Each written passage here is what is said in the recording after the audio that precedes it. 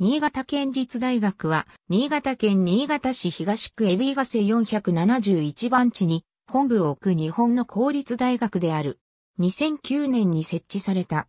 大学の略称は、県大。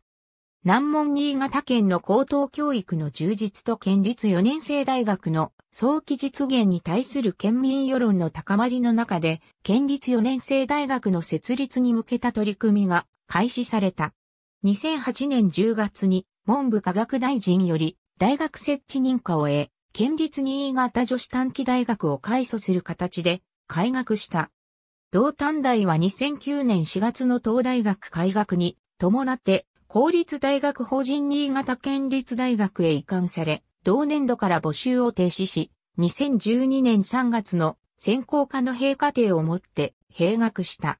国際地域学部は2年時より国際社会コース、比較文化コース、東アジアコース、地域環境コースのいずれかを選択し、学習する。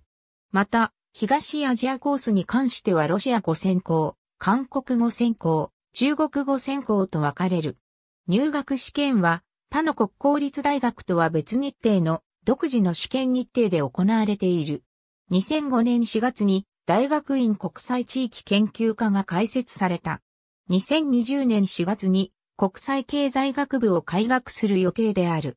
放送大学学園と単位互換協定を結んでおり、放送大学で取得した単位を卒業に要する単位として認定することができる。ありがとうございます。